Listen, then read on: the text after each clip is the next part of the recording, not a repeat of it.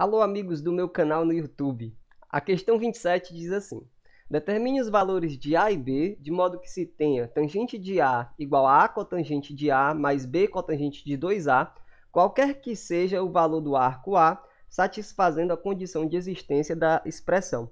Então nós queremos que tangente de A seja igual a A cotangente de A mais B cotangente de 2A, qualquer que seja o A, né, satisfazendo a condição de existência da expressão, ou seja, possuindo tangente e cotangente. A estratégia de resolução dessa parte é muito simples. Você substitui aqui a cotangente por 1 sobre a tangente, né, porque a cotangente é o inverso da tangente, e a cotangente aqui de 2A pelo inverso da tangente de 2A, está aqui. Manipulando essa expressão, né, você consegue chegar nesse ponto aqui. 2 mais b tangente ao quadrado de A igual a 2A mais b. Para que isso aqui seja sempre igual, não é? uma vez que a tangente de A pode variar, não é só tem um jeito dessa igualdade permanecer. Se esse valor que multiplica essa tangente for zero e esse cara aqui também for zero, aí não importa qual seja o valor da tangente, a igualdade vai permanecer. Então, para esse cara aqui ser zero, a gente descobre que o B tem que ser menos 2. Uma vez que a gente tenha escolhido o B igual a menos 2, o A tem que ser 1, que é para essa parte aqui também dar zero. Aí fica 2 vezes 1 menos 2, 0. Então, o b igual a menos 2 e o a igual a 1. Algumas pessoas raciocinam da seguinte maneira. Ah, eu quero que isso aqui seja igual, não importa o valor de a. Aí a pessoa pega e substitui alguns valores para a, né? E assim constrói um sistema e encontra o valor de Azão e Bzão. Também é válido. A gente sempre encontra B igual a menos 2 e A igual a 1. Utilizando essa parte, ou seja, o item A, a gente resolve o item B. Veja, Determine o valor da soma, né? aí tem aqui essa soma enorme, e o seu limite quando n cresce. Bom, no item A a gente aprendeu que tangente de A é igual a cotangente de A menos 2 cotangente de 2A. Né? Menos 2, que é o B, o A é 1, então não precisa nem pôr nada aqui, certo? Então, você percebe que daqui você pode obter os termos que estão presentes na soma. Ó, o primeiro termo já está aqui, né? tangente de A. O segundo termo tem aqui tangente de A sobre 2. Como isso aqui é válido para qualquer A, vale inclusive para A sobre 2. Aí eu troquei ó, o A pelo A sobre 2, tá certo? Como aqui tem 2A, né, eu estou trocando A por A sobre 2, fica só A.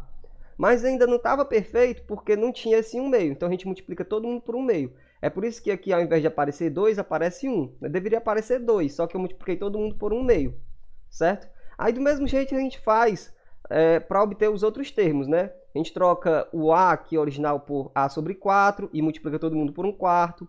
Troca até trocar o A, o A original aqui por A sobre 2 elevado a N e multiplica todo mundo por 1 sobre 2 elevado a N.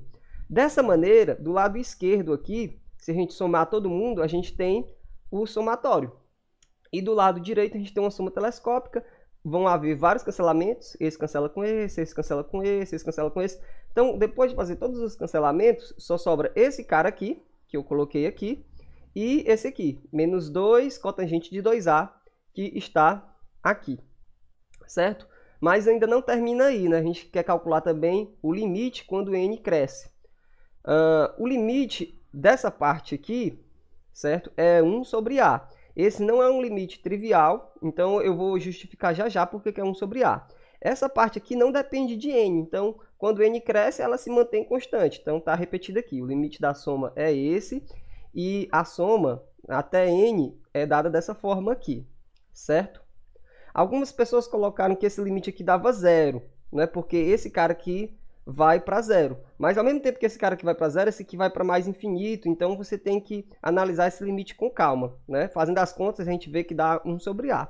Vou justificar agora porque que esse limite é 1 sobre A. Bom, a gente tem esse limite aqui, não é? 1 sobre 2 elevado a n, que multiplica a cotangente de A sobre 2 elevado a n. Fazendo A sobre 2 elevado a n igual a t, temos que 1 sobre 2 elevado a n é t sobre A. Basta passar esse cara para cá, certo? Eu fiz isso para poder substituir aqui, ó. Não tem 1 sobre 2 elevado a n? Aí eu posso pôr no lugar t sobre a, né? Pela, por, por causa dessa continha aqui. É fácil ver que t tende a zero quando n cresce, né? Quando n cresce, o a é fixado, então isso aqui é uma fração com o denominador crescendo. Então t vai para zero quando n cresce. Então esse limite aqui é equivalente a esse outro, ó. 1 sobre 2 elevado a n é t sobre a, que a gente tinha calculado aqui, E A sobre 2 elevado a N é o que a gente chamou de T. Então, temos cotangente de T e agora T vai para zero, né? quando N vai para mais infinito. Cotangente é cosseno sobre seno. Está aqui. E aqui tem 1 sobre A. O A é constante, então pode sair do limite. Está aqui fora. Certo? E daí, daí eu peguei isso aqui, repeti aqui embaixo, né? tá igual. Mas para frente, o que, que eu fiz? Esse t pode vir para baixo do seno aqui. Então você tem uma fração com o numerador cosseno de t e o denominador seno de t sobre t. Se você quiser verificar que isso realmente é igual, basta repetir aqui o cosseno de t e multiplicar pelo inverso dessa fração do denominador que você volta para cá, certo? Eu fiz isso de transportar esse t aqui para baixo do seno porque aparece aquele limite trigonométrico fundamental, né? Seno de t sobre t, quando t vai para zero, é 1. O limite é 1. E o cosseno de t, quando t vai para zero, também é 1. Então, o limite da função que está no numerador existe e a do denominador também existe. Ambos são iguais a 1. Então, o limite total é 1. Como você tem aqui ainda 1 sobre a, a constante, né, multiplicando o limite, então o limite é 1 sobre a. Não é zero, é 1 sobre a. Então, a resposta do item A é b igual a menos 2, a igual a 1, certo? A resposta do item B, o valor da soma, é esse valor aqui, certo? E o limite, quando n tende a mais infinito, é esse, 1 sobre a menos 2 cotangente de 2a. Meu amigo Rodrigo Carlos Lima de Silva, o Rendi Rodrigo, ele tem um texto aqui só sobre anotações sobre somatórios trigonométricos, né? Então tem somatório aqui de toda espécie nesse estilo aqui. Na página 35, a gente encontra justamente esse somatório que está nessa questão. Vamos ver se eu identifico aqui. Está aqui a parte do limite, ó. Quando k varia de zero até mais infinito, né? O somatório, que é o mesmo que a gente tem, é isso aqui. 1 sobre a menos 2 cotangente de 2a, que foi o que a gente encontrou aqui. E também tem a parte geral, né? O somat a, e também tem a, o somatório finito, né? com k variando de 0 até n, né? que corresponde ao que a gente encontrou também. 1 sobre 2 elevado a n, cotangente de a sobre 2 elevado a n, né? Menos 2 cotangente de 2a. Então, se você quiser dar uma olhada aqui no texto do Rodrigo, texto muito bom, certo? De nível elevado, mas para quem quer resolver esse tipo de questão, né, tem que estudar esse tipo de coisa mesmo. A gente fica por aqui. Eu espero que esse vídeo tenha ajudado a você. Um abraço e até a próxima. Tchau!